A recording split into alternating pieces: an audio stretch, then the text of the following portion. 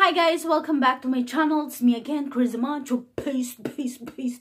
Hungry. So guys, for today's video, magre-reaction video tayo sa kakatapos lang na Miss Universe Philippines. Uh-huh. First and foremost, I wanna say congratulations to Miss Rabia Mateo ng Iloilo. You deserve it, girl. Palakpakan.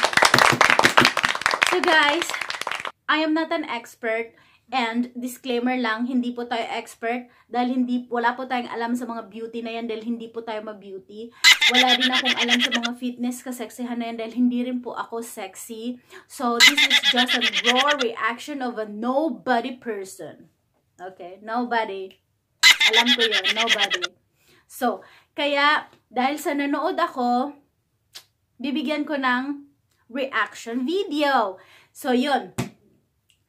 Guys, daming bash, daming kuda, lahat na lang, lahat na lang. But ang tayong ito ang isa sa mga sakit nating Pilipino, no? Ang hirap nating tumanggap ng pagkatalo. Pilipino din naman yan. Mm. Kapwa mo, kapwa mo Pilipino, pipintasan mo. Yung namintas, mukhang kuko. Yung pinantasan, mukhang Diyosa. Naka! Mga basher na to. So guys, sa totoo lang, lahat naman ng sumali ng Miss Universe na yan, Philippines, Miss Universe Philippines, ay deserving na manalo. Deserve nila lahat manalo. Hindi yan, wala tayong body shaming dito dahil hindi yan sila makakarating dyan kung hindi sila maganda at hindi sila sexy. So yung nagsasabi na kaya natalo si Michelle Gumabaw dahil hindi siya fit doon dahil sa majubis siya at mataba. Just ka naman kay ganda-ganda ng katawan ng babaeng yon. Uh, kay ganda-ganda ng katawan ni Michelle Gumabaw, sasabihin mong majubis, hindi naman siguro siya makakarating doon kung hindi siya hindi siya qualified doon kung hindi kasi syempre may may mga sukat-sukat diyan eh. Ang ganda-ganda kaya ng katawan niya. Uh, 'di ba? Kaya lang ito ka na nga, nakaka-disappoint lang ng konti si Michelle Gumabaw. Michelle! Michelle!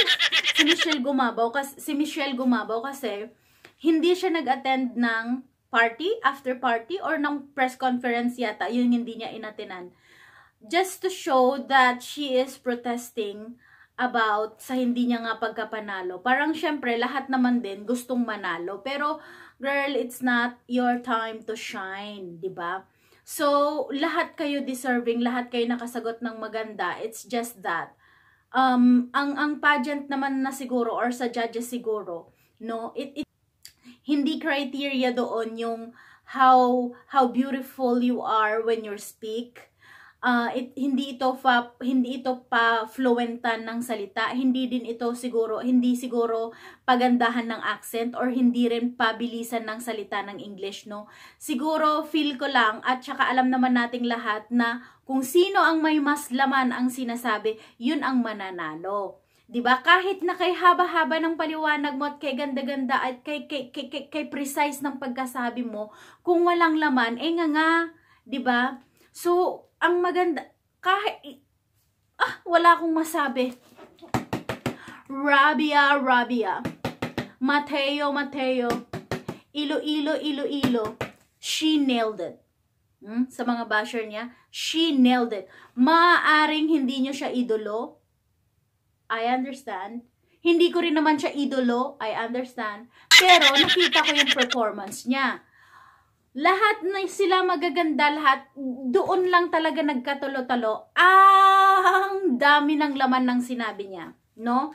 Yung the way she speak, pero medyo, kung baga parang ilo-ilo nga, parang Miriam Defensor Santiago, kung mag-English. Kasi, kung baga parang napaka, hindi nga siya, yung accent, or, or maganda naman yung accent niya, pero, yung iba, yung pagkasabi niya, sa mga ibang contestant. Yung ibang contestant, ang fluent, ang ganda ng accent, ganon. Pero siya, para siyang nangungusap talaga. Yung puso sa puso. Judge, puso ng judge at saka mga tao ang kung paano niya i-deliver yung sagot niya, doon siguro siya nanalo. Yun siguro ang naging points niya.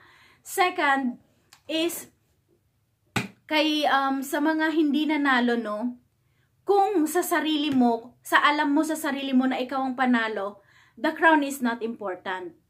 And you are not the one to say. Okay? Yung mga judges, iilan lang yan ang judges. Ang totoong judges ay itong mga netizens na apakatalino talaga. Apakatalino. Believe ako ng mga netizens. Apakatalino. Mas matalino kasi mga judges ang mga netizens. So sila yung magsasabi sa'yo kung nanalo ka o hindi or kung deserving ka o hindi. No? Kung yung netizens i-prove nila na ikaw pa talagang nanalo kasi ganito ka, ganyan ka, mas magaling ka sa kanya, eh hindi. Eh, karangalan na yun para sa'yo. Hindi mo kailangan ng corona para maparangalan, no? So, para sa sarili mo. So, wag kang masaktan na hindi ka manalo. Lalo na na, na disappoint ako kay Michelle Gumabaw kasi nga, ano siya eh, um, she's representing uh, the, the sports community of the Philippines, di ba? So, bilang isang varsity din ng, ng, ano, ng, nung nag-aaral ako, when I was studying, still studying, I was a varsity of, uh, uh, varsity of the volleyball, of volleyball din. Lahat ng pamilya ko, mula lolo, hanggang sa mga auntie, hanggang sa mga uncle, hanggang sa mga younger generation ng aking pamilya is naglalaro ng volleyball at mga varsity po halos lahat ng aking pamilya. So, ang una kong natatandaan at ang unang pinapang-aral ay pin, ini-educate sa mga players yung salitang sportsmanship na bakit hindi na-apply ni Michelle Gumabaw. Hindi siya nag-attend ng press conference that so disappointing na parang na, nagproprotesta siya bakit hindi siyang nanalo.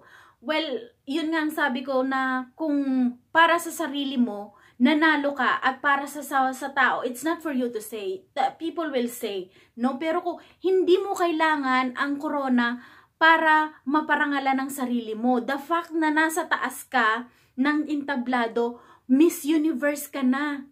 Crown is just a thing. 'di ba? Corona lang yan.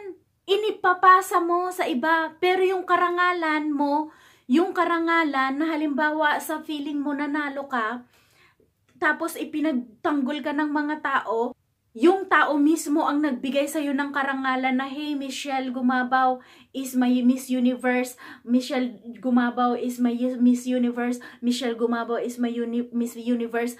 Yun, yung karangalan na yun, hindi yun maaalis sa puso mo. Yung corona, naaalis yun sa puso mo pag matulog ka, naaalis na yan no? So kailangan pag, pag dapat kung Miss Universe ka or kung kung sanay ka nang makipagkompetensya kasi nga volleyball player ka, dapat tanggap mo sa sarili mong pagkatalo mo, no? And then, 'di ba? Better luck next time. It's not for you to shine today, maybe next year. Di ba kasi si, si Pia ilang beses? Seven times bago siya nakoronahan. Si Miss Catriona Gray ilang beses din siyang sumampa ng entablado bago siya nakoronahan. Eh di ba? Oh, but why, why so bitter? Uh, bitter? Bitter guard? Ang kalaya? Gosh, di ba? So, hindi ko rin naman idol si Miss Rabia, no? Kasi, syempre, idol ko yung tugo. Sino ba yung taga Mindanao? Hindi ko na napanood. So, syempre, may idol-idol. Pero, talaga namang deserving talaga si Miss Rabia, no? Ra uh, Rabia? Rabia Mateo, no? And she nailed it. First, or first round question, the second round, and the final question, she nailed it. I like the way she speaks. She speaks from the heart. You know, who got lines? You and me? diba? So, yun lang naman po. And congratulations again kay Miss Rabia. Rabia ng Iloilo. You got it, girl. Thank you very much and stay safe.